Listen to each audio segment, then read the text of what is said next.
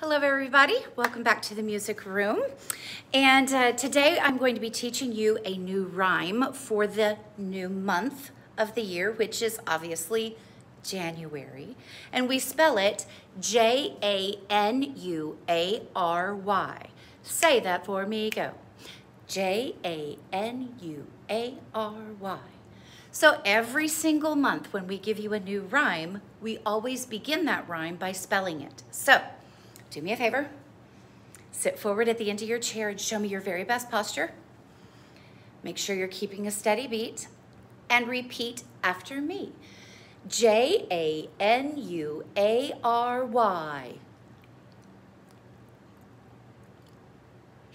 This is the month when the cold winds blow. We might have ice and we might have snow. Ice, snow, cold winds blow. Flowers of spring soon will show.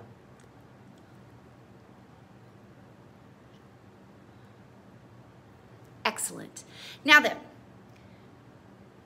we're going to add two phrases at a time.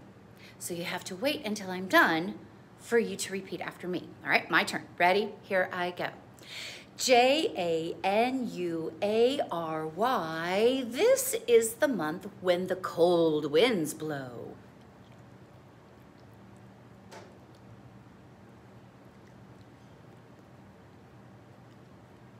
We might have ice and we might have snow.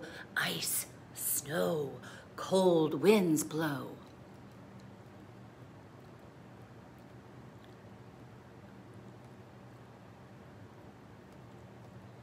Flowers of spring soon will show.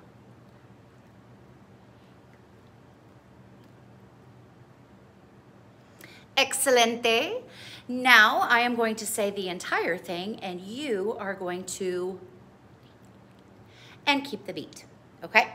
So, ready, here I go. J-A-N-U-A-R-Y.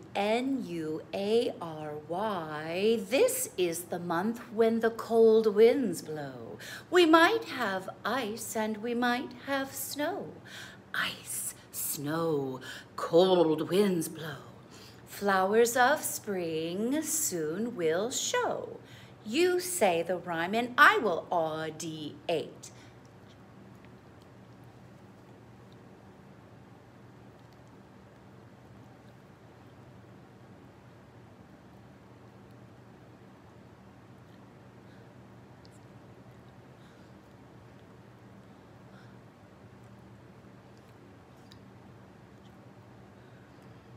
How'd it go?